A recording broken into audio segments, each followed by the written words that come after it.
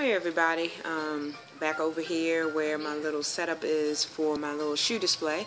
Um, this video is really to Noxibaby. She posted a comment on my page asking what I thought good cross trainer or running shoes would be. And um, by no means am I an expert. Um, I'm only um, giving uh, my thoughts and experience with buying um, footwear. Um, and I guess this came from all the pictures of my workout gear that um, I wear to the gym. Um, just a little history on that. I just find out from me, from my mental game, that if you feel good about the clothes you're working out in, then you work out better. And um, listen, I'm balling on a budget with those clothes. Um, some of them are from Walmart, some are from Target. They're they're not you know, nothing costs more than um, twenty dollars of everything that I got on bra included, workout bra included. Um, I, uh, you know, now that I don't really need the really like plus size stuff, you can get away with some things in, in other stores, and um, I trust me, I am not spending a whole lot of money um, on that stuff. Um, I also wanted to say in my last video that um, I posted when I was over there cutting up the watermelon, which by the way came out good. I know it looked like I was butchering that thing up, um, but it came out all right. Um, I should show y'all, but I don't feel like going over there.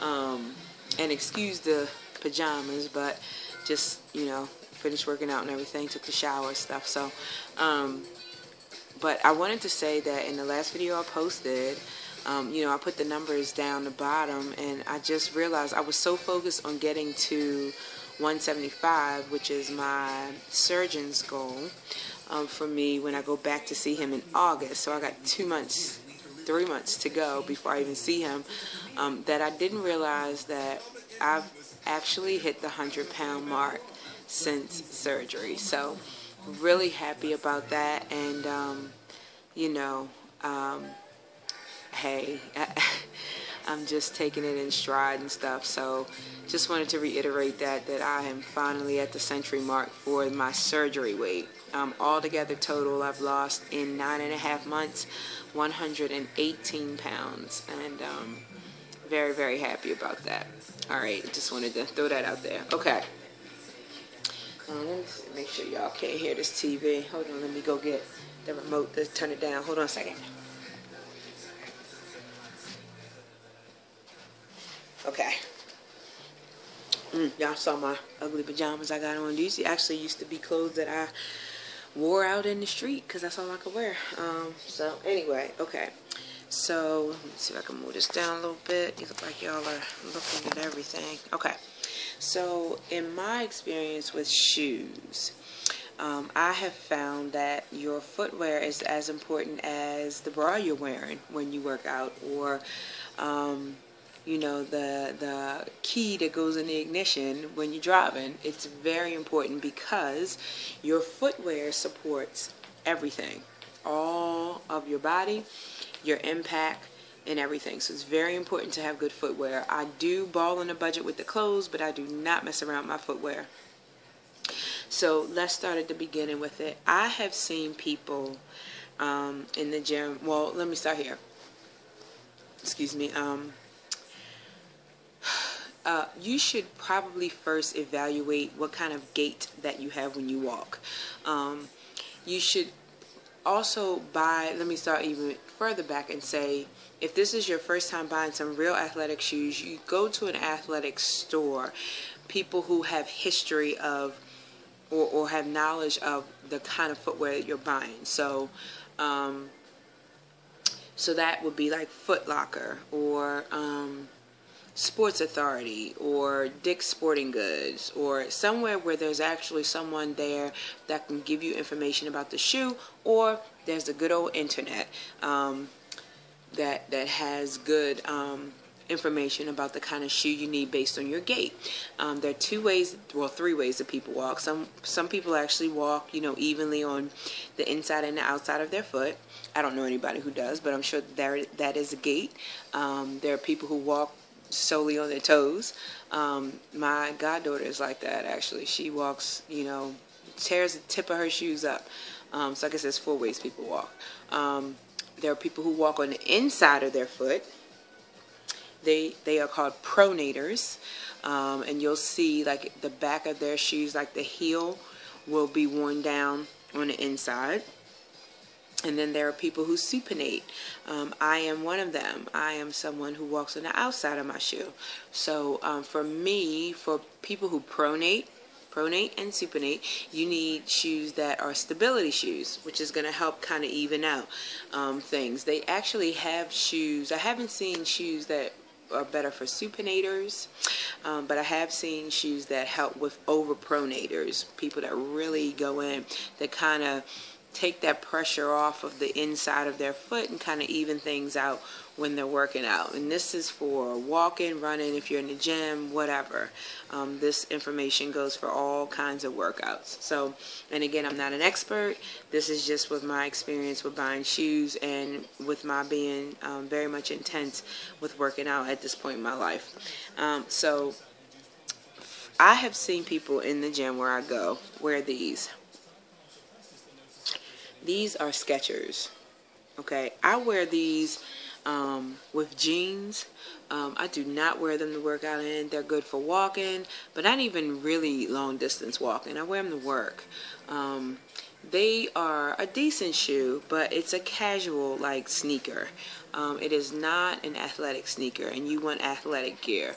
Um, it offers no support for your ankle See, it's really low here, no support for your ankle, and um, it is a leather shoe, but there's no kind of um, traction for, or I should say, um, absorption of shock, shock absorption for your heel, for the impact when you're jumping up and down. There's nothing here. There's this rubber sole, and then there's the ball of the shoe here. So there's nothing here.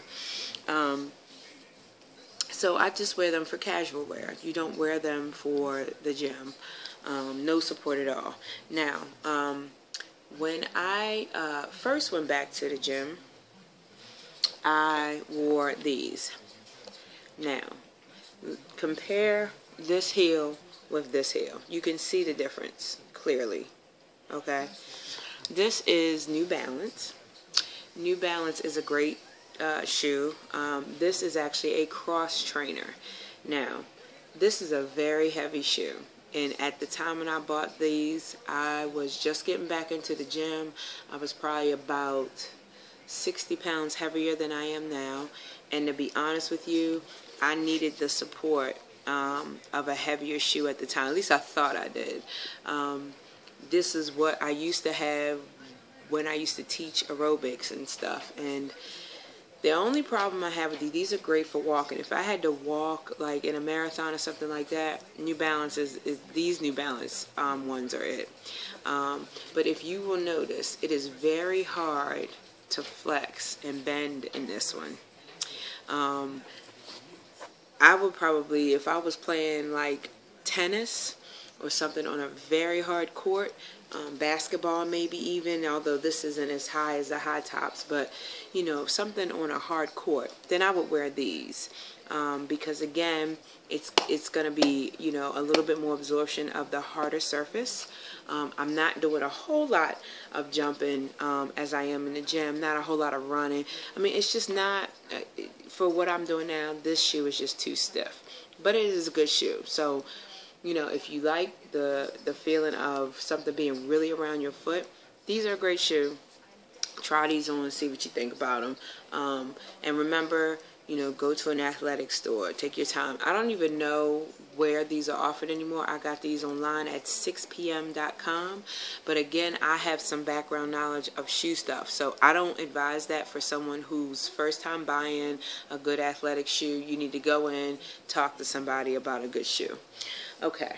So then I figured, you know, once I had these, you know, and I started to lose the weight more, the shoes started to feel too heavy for me. So I said, okay, well, I had bought these shoes. And these are actually Nike Frees. Um, Nike makes a good running shoe, um, but these particular shoes Um, you can see definitely is a running shoe. Look at this. I can bend these babies up, out, around, whatever. Seven ounces is what this shoe is. I want to say that these are maybe 11 or 12 ounces. So, and you can really tell the difference. Um, so I said, all right, let me try these in the gym. Well, these were too light for what I do in the gym. They offered me no support for my classes, like for step class, too light. No support for my knees, no support for my ankles. These are particularly running shoes. Now, I am starting to run outside now. As y'all know, I'm preparing for my 5K. But, you know, there's been a lot of damage to these old knees. I may have a lot less weight on them, but my knees are still the same bones and stuff like that. I may be stronger, but I've done damage to my knees and stuff. So I decided that I will only use these when I'm stuck like to run in the gym um, on a treadmill or on the elliptical because those are surfaces that give. You know, the treadmill, when you run on it, you know, it goes up and down like this. Well, it's not going to be as hard as the street would be, which is not going to move. Even though these are good and flexible, they don't offer as much shock. And that's the key with shoes. You want to get stuff that absorbs the shock um, on your joints so that you are not, you know, absorbing it all, you know, in your joints. You want the shoe to, to help you out so you don't you know, tear your joints up. That's where the money comes in for good, decent shoes. These shoes right here, just to give you, um, these are like 60, I think. Um, these were when I bought these, and these are a good shoe now. They're just not good for what I do in the gym. Um, these were, I want to say, about, I caught them on sale at 6pm.com. Um, I'm going to say I probably paid 60 for these two, somewhere around there. I, I, usually don't top out any higher than maybe 70 or so for a pair of good workout shoes. But like I said, these are way flexible, and I use them in the gym when I'm like running on the treadmill and stuff. So then, um, because I supinate, um, I did some research on some stuff, and I found that Asics are a really good shoe. And I am a big fan of Asics. Um, Asics um, makes all kinds of shoes for different gaits. Stability, um, Stability Plus, and I forgot what the other model is. Um, but if you look them up, they they definitely have a website where they explain, you know, what would be best for you. Um, you need to know what kind of arch you have. Um, you can tell if you have a high arch. I mean, we we all kind of know high arch or a um, a uh, you know no arch or a normal arch. I have a normal arch, so um, my only issue with my gait is I supinate. So this shoe is called the Neo 33, Gel Neo 33. Now, why I love Asics is that this is a lightweight shoe, um, but you can see it's still gives a little bit in the beginning and um, still has a lot of shock absorption in the sole. It has the gel and a good sole. And you can also see that it has a really wide forefoot, forefoot on here um, that helps with lateral movement, side to side. When I'm in the gym and I'm doing, you know, some side to side movements, the floor that they have in my gym is like a rubber floor, but it's not absorb absorbing kind of rubber floor. It's like a it's it's a floor actually that absorbs moisture. Um, kind of wicks it away, but it's not as hard as the street.